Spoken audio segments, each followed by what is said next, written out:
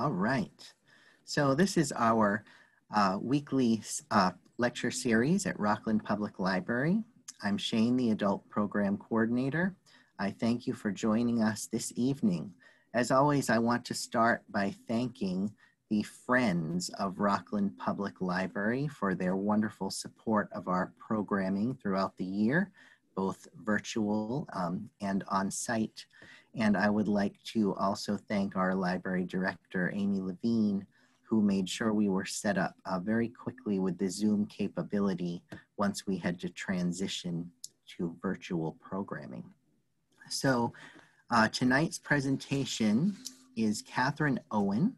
She is a park ranger and she is going to be uh, giving a talk before I introduce Katherine, I would like to tell you about a couple of upcoming programs here at Rockland Public Library. Next Thursday, September 17th, we're going to be welcoming David Yarborough, and he is going to be giving a lecture on the uh, Maine's wild blueberry industry. David Yarborough is the Emeritus Wild Blueberry Specialist with Cooperative Extension and Emeritus Professor of Horticulture in the School of Food and Agriculture at the University of Maine, where he worked for 40 years. He's going to give a presentation describing the establishment of the wild blueberry plants as the glaciers receded 10,000 years ago, and he'll discuss the beginnings of the blueberry industry in the 1800s. You won't want to miss this informative talk. That's next Thursday on Zoom um, at 6.30 p.m. And in two weeks, on Thursday, September 24th, we will be welcoming journalist and radio host Aimsel Ponti. She is from the Portland Press Herald, and she is going to be talking about the impact of the pandemic on live music in Portland. She's also going to be giving us an overview of her career as a journalist and radio host and talking about some of her favorite albums of 2020. If you're interested in either of these talks, please uh, send me an email at sbillings at rocklandmaine.gov and I will make sure you get the link to attend. So now to introduce tonight's speaker, Katherine Owen she is the new park ranger at Maine Coastal Islands National Wildlife Refuge. She's going to be giving us an overview tonight of what the U.S. Fish and Wildlife Service does, and more specifically, the preservation and protection work being performed by Maine Coastal Islands National Wildlife Refuge. Katherine Owen is an Illinois native. She attended the University of Illinois in Champaign-Urbana, where she studied fish and wildlife conservation. After graduating from college, Katherine started a long journey of seasonal work, doing outdoor education and interpretation up and down the east coast of the United States. She accepted her first federal job with the National Park Service in the Outer Banks of North Carolina, where she spent four years, and she followed this with a spring season in Yellowstone National Park, before finding her way to Maine and the U.S. Fish and Wildlife Service. At the end of Katherine's talk, there will be a question and answer session. Uh, you'll need to use the chat box, but if you're afraid of forgetting your question, type it in anytime. We'll make sure we get to all of your questions. Katherine loves to educate people on what they can find in their very own backyard. So without further ado, let's please give a nice virtual welcome to Katherine Owen. Thanks for joining us. Thank you so much for having me. This is exciting. Um, it's been a little while since I've given a program, so don't mind me if I'm a little rusty. You got to shake it off a bit um, in these trying times that we have. But I'm excited that there's enough of you to kind of talk. Um, like Shane said, the chat box is open if you have any questions throughout the program. But also, I will ask questions throughout the program feel comfortable answering them in the chat box. It kind of helps the program move along and create a discussion. I'm not here just to talk at you. I want to inform you guys, but also get you excited about your public lands, specifically um, wildlife refuges, which a lot of people don't know a lot about. Um, but to kind of get a little feel for things, being that I'm in Maine right now, but because this is virtual and we shared it on our Facebook, there's a variety of people from all over the country, hopefully, in this. So I'm curious as to where some of you are from, even if you aren't even just from Rockland. It'd be nice to know where up and down the coast of Maine you're from. So if you want to drop in the chat box where you're from, it kind of helps me get an understanding of what you might know. Um, while you're kind of out and about out here. So we got people from Camden, which is just up the road. Oh, we got St. Louis. Okay, that's near me. Maryland. So we got people um, that are all up and down all around, which makes it really nice to kind of interact with folks because normally if this was a normal season, you might be out and about, maybe traveling and visiting these areas. And if you're visiting wildlife refuges, the um, shield that you see right now on the screen is also the same shield that's on my uniform. And then the blue goose, those are common logos that you might see. But I've also created a nice background behind me throughout this program.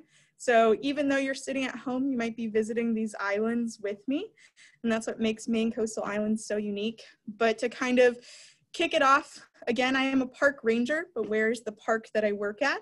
I don't actually work at a Park. I'm working at a wildlife refuge, which is different from the National Park Service. The Fish and Wildlife Service, yes, is still under the same branch as the Department of the Interior and the National Park Service, but I like to think that the U.S. Fish and Wildlife Service is kind of the lesser known cousin of the Park Service. People don't really know about us. They don't know what we do, but we're the same idea of public lands and that we want people to get out and enjoy them. And Shane did a nice introduction of where I've been. So I've worn different uniforms and different hats throughout my time.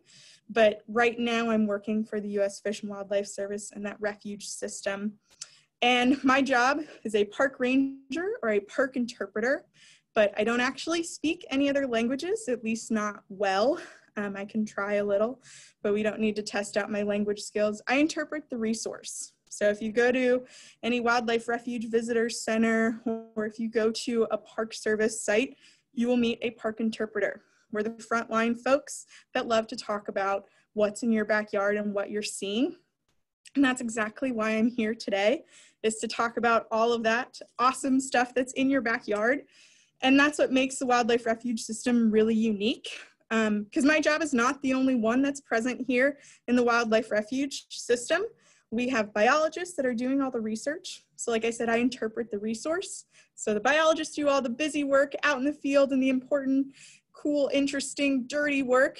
And then they bring me that information and I get to share it with folks like you all. And that way then I don't have to get all dirty and gross. I get to just talk about really cool stuff and look really cool in the process. These nice uniforms, if you didn't notice. But then we also have law enforcement because we want to make sure that folks stay safe when visiting our refuges. And we also have a refuge manager, similar to like a superintendent of a national park. So they're in charge of the overall sort of function of the refuge and maybe managing things like lighthouses. So we do have a few lighthouses here at the Maine Coastal Islands National Wildlife Refuge. We also have maintenance workers. So we have folks in all different departments that help to keep this system running which is pretty cool. And the wildlife, the US Fish and Wildlife Service, although it has the title of a park ranger for my job, we manage different things like refuges, fish hatcheries, and this system is pretty big. So if you have ever visited a wildlife refuge, maybe you can drop it in the group chat of ones you've been to. There are over 540 wildlife refuges, meaning that there's one in almost every state. So those of you that live in the Maine, mid-coast Maine area, you have one right in your backyard. It's a little far offshore, but we do have mainland locations. But anywhere across the country, even just in the continental US, like you see in my photo here, there's one in almost every state. And that's because we're covering tons and tons of acres to try to protect these lands. And these numbers, the 500, over 540 wildlife refuges, stretch to Alaska and Hawaii, and even submerged ones like your marine sanctuaries. So we even have one of those off the coast of Maine. And these are all really important because they all tie into what the mission of the U.S. Fish and Wildlife Services. And that's to administer a national network of lands and waters for the conservation, management, and and where appropriate, restoration of the fish, wildlife, and plant resources and their habitats within the United States for the benefit of present and future generations of Americans. So the idea of the refuge system in U.S. Fish and Wildlife Service is to preserve and protect these lands and the resources that are within them to hopefully have successful communities. And that way then folks like you and me and anyone else in your neighborhood can go out and visit these refuges. You notice along the East Coast, it's pretty, pretty heavily dotted. We have a lot of urban refuges, which means they are literally in your backyard. So it's not hard to get out and to visit some of these wildlife refuges. But today, I'm not gonna talk about the ones that are in all of your backyards. I'm gonna talk about the one that I work at, which is Maine Coastal Islands National Wildlife Refuge. And we're actually a complex of refuges. So we're not just one location snap like drop down in the middle of Maine we are multiple locations. And so this map here shows you a collection of the islands and the mainland locations that the refuge manages. So we own these islands, we own these mainland locations. If you look really closely at the map, we have our Rockland office, which is where I'm at, but right now it looks like I'm hanging out on one of the islands. But the Rockland office, we also have an office up in Milbridge, so about two and a half hours north of where I am up the coast. So we have a lot of locations, but then if you are adventurous and you have a boat and you're going in the right time of year, or even if you do some of the tours off of the coast, they'll take you along near some of these islands that we protect out here. And so it's interesting to think about what we're protecting and how the Fish and Wildlife Service initially came into play. And so the wildlife, the wildlife refuge system was established by Theodore Roosevelt and he established that first one in Florida at Pelican Island National Bird Reservation. So I saw someone said that they like to go to Ding Darling, which is also one of those Florida locations of our wildlife refuge system. So again, it's not just in Maine that we have them, but if it hadn't been for Theodore Roosevelt, we probably wouldn't have all of these protected lands out here, just like Maine coastal islands. But looking at this map, there's quite a few small dots and lines running up and down it. And those dots and lines are representing over 70 islands. Whew, that's a lot of islands to try to manage, especially with so much land to cover. But Maine actually has over 4,600 islands off the coast. We have more coastline than California. I know it's hard to imagine. If you're not from the East Coast, Maine doesn't seem very big. It doesn't seem like it has a lot of coastline but it's got more than California, and that's because of those islands and all those inlets and those nooks and crannies that head up into the elbows of Maine. But thinking about those 70 islands, those mainland tracts that we have, they stretch from the New Hampshire border all the way up to the Canada border. So we are covering the entire coast of Maine, and we are protecting lands, we are protecting birds, we are protecting species and plants and things in hopes of making a better habitat environment for the future, which these days seems like quite a thing to protect.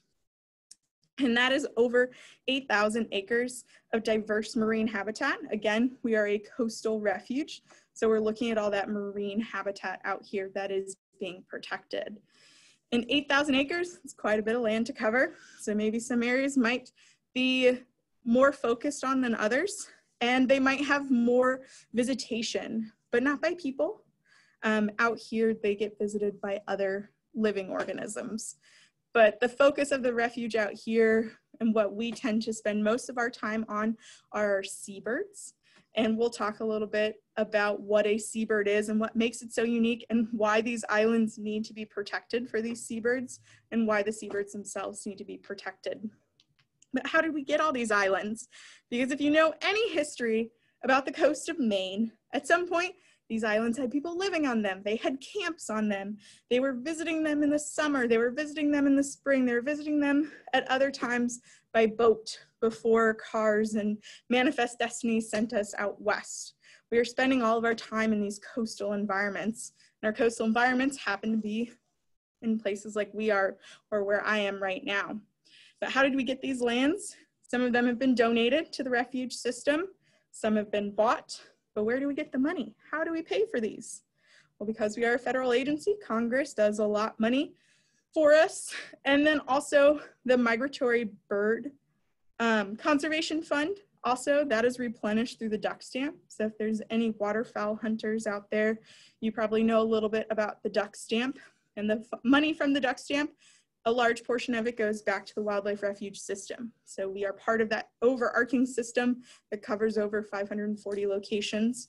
But another new act that came in this year was the Great American Outdoors Act, and that provides funding for deferred maintenance and also for acquisition of land.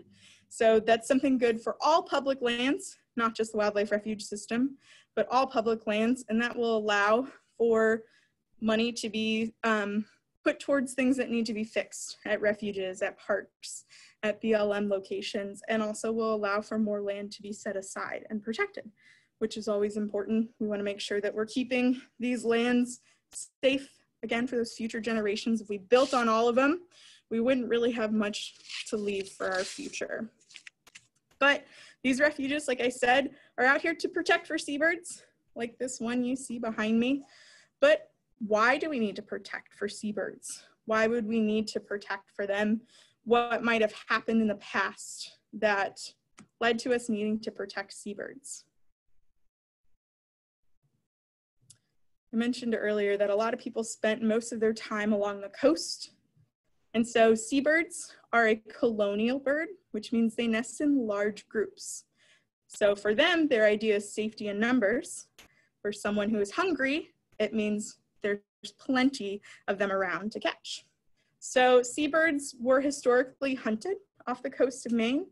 You could come up to some of these islands and see hundreds and thousands of these colonial seabirds nesting or hanging out on these islands or close to them. So it made for easy pickings.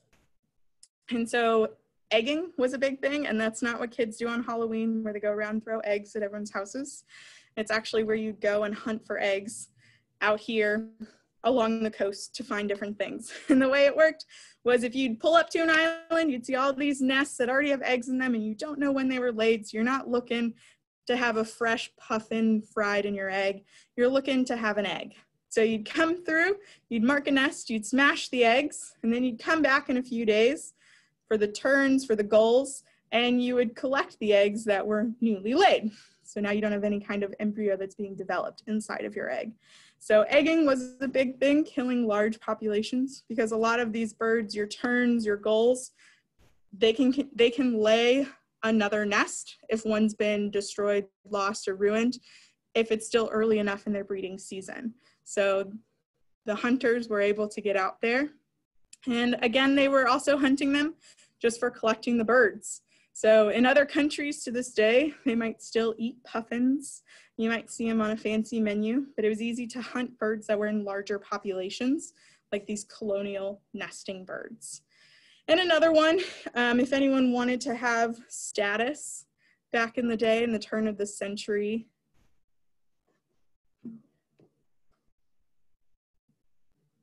status would come through in the form of fashion. And so that fashion coming through came through in millinery, which is hats. So you can see in these two photos, these women had almost whole birds on their heads. And so these hats, you'd go out, you'd hunt. The more feathers you had, the bigger the bird, the prettier the feather, the higher in society people felt you were. So that was another big thing. And that almost led to the near demise of the seabird populations or the almost elimination of them. And as people continued to move westward, maybe a little bit of pressure was taken off these islands. But the Migratory Bird Act of 1918 actually put in a lot of restrictions and safety for these migratory birds. Seabirds are migratory because in their name, it doesn't mean they spend all time on these islands because they're not called island birds, they're called seabirds. And the Migratory Bird Act protected for their nests and their eggs and the lands that they used. And so that protection coming in in 1918 kind of led to women maybe not wearing these hats full of full birds all the time and some of the populations of gulls began to return and other populations started to make their way. But it wasn't until the Audubon Society and the Wildlife Refuge System really stepped in to up their research and to up their protection um, sort of management practices. And so the Wildlife Refuge out here at Maine Coastal Islands does a lot of management and a lot of protection for these seabirds. And their research takes you all over, and there are a few species of focus that we have and ones that we see more commonly, um, including a common tern, which is in our upper right corner. And then you have your roseate tern, which is actually an endangered species.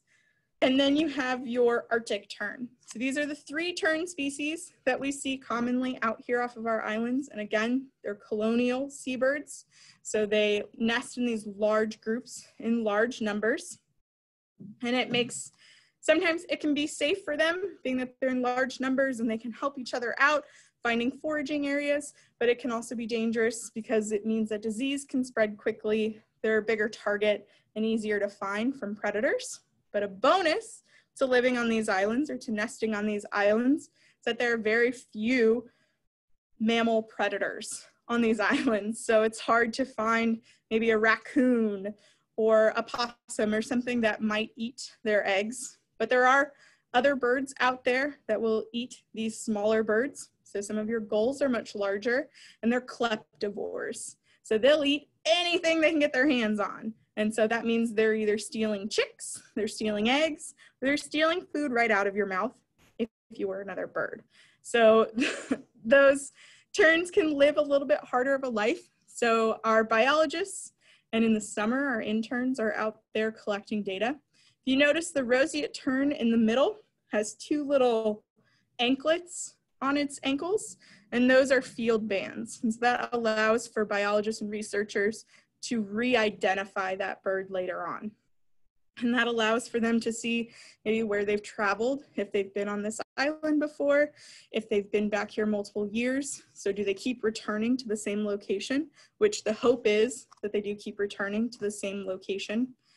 But seabirds don't spend all of their time on these islands. Their name suits them because they spend most of their time out at sea. So some of the other seabirds that we also study out here are your Atlantic puffins in the upper left corner. The really regal looking ones are your razor bills. And then you have your black guillemots, which are the one, which is the one in the bottom with its mouth wide open. And so these seabirds spend almost all of their life out at sea. So that means that they're in cold, harsh environments. They're in open water, so they're pretty exposed. So they have webbed feet to help them kind of kick up out of the water. Some of their wing shapes allow for them to dive deeper into the water column to find food. But the only time that they really return to land is to breed. But that takes a little while. So once they've laid a nest and had babies, they spend a lot of time training these babies and these chicks to then go on and travel and to be a part of the migration and to survive. But they spend more time training them and then in a few years, so those new chicks that are heading out to sea right now and started kind of heading out last month, they might not return to these islands for a few years. So what could happen in a few years if they're if they want to return to these islands? There's a lot that could happen. And so thinking about these seabirds, there's a lot of things. Odds are kind of stacked against them. But again, they are a migratory bird. And so our Arctic terns uh, have one of the longest migrations. They are called Arctic terns because they do spend a portion of their season in the Arctic. And yeah, we might be close to the northern Arctic, but they actually migrate all the way down to Antarctica. So they will breed up here off the coast of Maine, and then they will head all the way down to their wintering area, which is in red here on the map. So if you're looking at it, they spend a lot of time off the coast of Greenland up here, and then they head all the way down. So they're traveling about 40,000 miles. And again, they aren't much bigger than kind of my face across. So they're not very big birds, but they're traveling very, very long distances. So that can also put a lot of pressure on them because in that long time that they're traveling, they are stopping off at locations along the way. What kind of troubles can they run into? Again, these are all kind of foreshadowing of why the refuge is out here and why they're trying to protect, because there's a lot of current effects on these seabirds that can really make it difficult for them to continue survival. But the Gulf of Maine is a great place to have these seabirds coming in. It's a really productive area. But to get maps like this, so we can understand maybe where the birds are foraging or where they are wintering and traveling to, they will get little geo tags put on them. And so they're just sutured on and it'll give data points and create maps like what we just had after the biologists sort of run through and analyze all that data of where these birds are traveling to, or maybe even where they're foraging. So thinking about the Gulf of Maine and it being an extremely productive area. And that's because of its unique shape and its location along the coast on the Atlantic coast. And so looking at the currents that come through Maine and off the coast of Maine and even all the way down to the Cape, you're getting cold, cold water from that Arctic. But then the warm water does come fairly far off our coast and there's a good mix. So you can kind of see those arrows are kind of showing that mix. Because the water is cold out here in the Gulf of Maine, that means there's lots of phytoplankton. And phytoplankton, those are those initial starting points of food webs. And so the moment that the temperature changes in the Gulf of Maine, you now throw off an entire food web. And so if you have species like your seabirds that are relying on a specific type of fish that then eats a specific type of plankton that's in the waters, then you might not end up actually seeing those birds out here.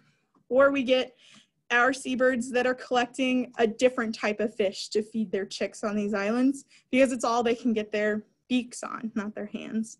And so they're looking for these less popular species of fish. Maybe they're too big, harder for the chicks to swallow. So now the chicks aren't getting proper nutrients. And that's something that can happen because of temperature change. So a slight temperature change in the Gulf of Maine can throw off an entire ecosystem and an entire food web of how these seabirds survive. So at the Wildlife Refuge, we can't be out there with ice cubes making sure that the Gulf of Maine stays cold, but we can make sure that these islands stay as pristine as possible. And so on a lot of these islands, we have them closed to the public during certain seasons. And so this sign is telling folks that there is a nesting area on this island and that you can't actually land on these islands during our nesting season. And that way it keeps those birds a little more protected a little less human interaction. And our biologists, our interns are out on these islands for 12 to 14 weeks at a time in the summer. And they are just diligently collecting data, reading information, seeing which birds are returning, and in hopes that we have productive years. Because a productive year can hopefully lead to multiple productive years because we can't really see what will happen the next year from the year before. Yes, we could have tons and tons of chicks born, but they won't return for a few years to lay another nest. And like I said, what could happen in a few years? Temperatures could change in the Gulf, islands could become developed, seawater levels could rise, and now those rocky shorelines could change to where some of these birds enjoy those rocky beaches, those rocky shorelines. Now they're not exposed as often. So it makes it difficult for these birds to nest. As our natural environment changes due to human impact. And so it's something for all of us to think about as we continue on in our everyday life. Yeah, you might not live along the coast of Maine, but all of these wildlife refuges within the system are protecting for different species. Go to them, visit, see what they're protecting and why, because it gives you a sense of what's important and what could then in the long run affect us. Because if we completely eliminate different areas or different habitats or different environments, we're affecting ourselves in the long run too. Mother Nature can adapt and is very resilient. Humans sometimes have a little problem adapting a little bit better, and we think that everything should adapt to us. So it does make living a little bit harder sometimes. But what happens if these birds lose all these lands? Again, we only own 70 of these islands, and they only nest on a few of them. But if they get less and less habitat, what's going to happen to them? Where are they going to go? What's going to happen to their species? And then again, food webs all get knocked off. But I don't want to leave this all on doom and gloom because I want to make sure that I can answer any questions that you guys might have that maybe came up throughout this program. But I want you guys to kind of go home with the idea of what can you do for your part And if you live in the Rockland or Maine area, um, or even if you just want to visit the website, our friends group is a great resource for volunteering and donating and just kind of being a part of Maine Coastal Islands National Wildlife Refuge. But you can also find friend groups for other refuges out there that are closer to home. Go out and visit them. Now is the time to visit your public lands and to really be a part of that. Um, a lot of refuges and fish hatcheries look for volunteers, so you can always volunteer if it's closer to home. Um, but share this information with people. The idea of public lands and places like the Wildlife Refuge System is for you all to get out into your backyards and to enjoy nature. So take it in, go on a hike, take a camera with you, or even just stop and listen to the wildlife around you depending on where you go. And make sure that when you are recreating that you're leaving no trace. So take only pictures, leave only footprints, and make sure that you all are recreating responsibly um, also, for us here at Maine Coastal Islands National Wildlife Refuge, feel free to follow us on Facebook. We're always updating with different information um, out here that we're doing and things that are happening out on the islands or has happened out on the islands. Um, also in October is Wildlife Refuge Week, so it's a great time to get out to your refuges and really support them or even support them virtually like this. This is the great thing about how quickly we adapted to something new is we all now can use Zoom or Skype or whatever video platform. Um, we'll hopefully be going live at some point during Wildlife Refuge Week. So that is October 11th through the 17th. So be on the lookout for that. Um, and if you guys have any questions that throughout this time, if I can't answer, I will also leave my email in the chat box. So that way you guys can um, ask any questions that you might have if I didn't answer them now. But I think I'll turn it over to Shane to kind of manage some questions. Okay. Let's see what we have. Um, to start with, Katherine, we did have a comment come through that said um, that the roseate terns also visit the Dry Tortugas National Park in Florida. We have a question um, from the audience. What have you enjoyed most about working at this refuge? Um, so this is my first refuge, so can I just say I've enjoyed it all? But I enjoy the aspect that it's something completely new and different. Um, I've experienced some seabirds and shorebirds, being that I lived up and down the East Coast in North Carolina. But I mean, the first time I saw a puffin, I was almost in tears. so it's been an amazing experience just to know that there is so much conservation going on off the coast of Maine that nobody knows about. There are so many islands that I couldn't see them all in the time that I'm here. And to know that what we have here at the refuge and the practices that we're doing, it's just amazing to know that there are so many passionate people just within this refuge system. Excellent. Uh, the next question from the audience, where is the closest refuge to Chicago? That is a great question. That one came from someone not around here. If you go to the U.S. Fish and Wildlife Service, so fws.gov, you should be able to find refuges that are near you. Um, there should be some up there, probably some urban refuges. I'm not positive. Again, there's over 540 of them. I can't name them all. but I would say go to fws.gov to see maps of the ones that are, that map that I showed, that first slide of all the maps. Um, on their website, that's actually an interactive map. So you can click up near Chicago to see those.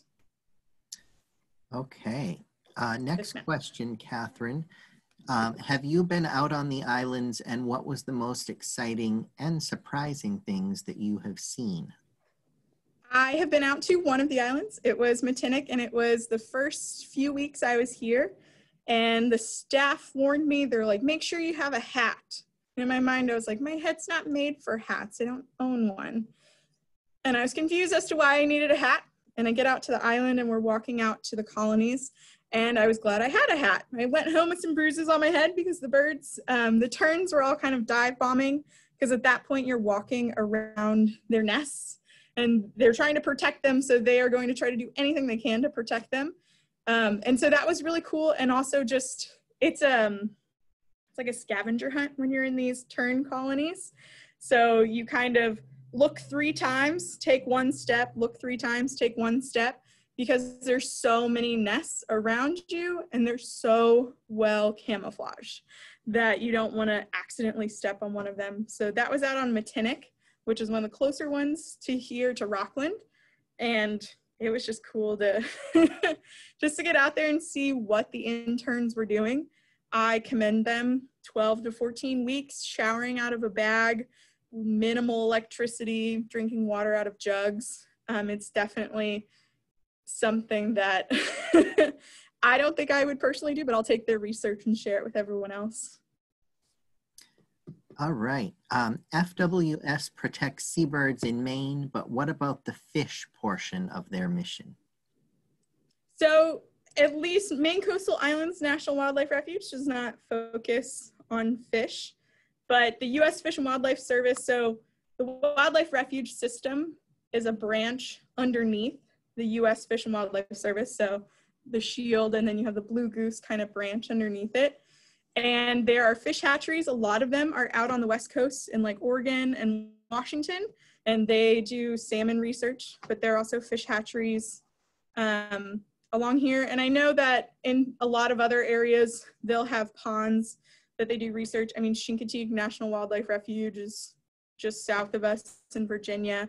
Um, so there are a lot that do birds because a lot of this was set aside to protect migratory birds. But there are fish hatcheries under Fish and Wildlife Service. There's, again, like I said, the um, marine sanctuaries, those are all underwater. So fish are definitely involved in those as well fish, lobster, grasses, all that good stuff. Excellent. Is there an annual bird count done within the refuge? There is. So they um, they do an annual census I am not a part of that because my job is to run the visitor center and to talk about what they're doing. But they also then are collecting all of the data from the islands. And so I know that this year, Metinic Island and another one associated had some of their highest um, breeding pairs or nests in a while, like over a thousand nests of terns, which is really cool. It was one of the highest numbers they've had in a while, but they do censuses out on the islands closer to like June when the bulk of all the seabirds have arrived. So they'll kind of start arriving in May and then they'll kind of leave to start their migration in August. So it's a short period that they're out here, but there is research done on that. And if you go to our website, so I can also drop that in the chat, but the Maine Coastal Islands Fish and Wildlife Service.gov website, we have past research on there or of sort of an overall of how the season went with seabirds. Uh, the next question, Katherine, is how can we help children come to know and protect our seabirds? Education, education, outreach, education. Um, that is a great question. If there's any educators here in the program today or know people that know teachers, um, we are offering virtual field trips so it's an opportunity for teachers and students to zoom in and to visit the island seabirds and hang out with me for a little bit and learn just like you all did today. Um, our visitor center does offer a children's program and it's a immersive island experience, but without actually having to get on a real boat. And so we are able to offer those as well to teachers when we are open obviously right now because of COVID, we are not, but it definitely is an opportunity. Share what you learned here today, tell people about us. The more we can get out, the better. Um, and I think the more conservation efforts we can share with children, the better. They are our future. At this point, we've gone too far. so we need to make sure that they're educated. Was there a particular seabird about which you knew absolutely nothing until you started your work? I had no idea that razorbills existed. so when I first got ready to move out here, I watched a few videos and I went to the website and I have friends that are avid birders, but more southern birders. And I a razorbill sounds cool, looks cool. They look super prestigious. Knew nothing about them, and the more that I've learned, um, they're the closest related to the extinct auk, which is a species that unfortunately went extinct, but they're the closest related to them. So you kind of learn fun facts about that, and they're just an interesting, cool looking bird that who knew they existed before I moved out here. Uh, the next question from the audience is Do puffins taste like chicken? I wouldn't know. It's illegal to kill them and eat them. Um, I'm sure they are a they're a bird. I feel like most birds taste the same. But if you think about it, these seabirds are spending a lot of time in their cold environments, so they might have a little more fat on them like a duck. So you never know. But you'd have to go to a foreign country to try them. Do you have any particular books on birding that you would recommend to a beginner? To a beginner, that is a great question. I took ornithology in college. Let's see if we have a copy of it. Hold on one second.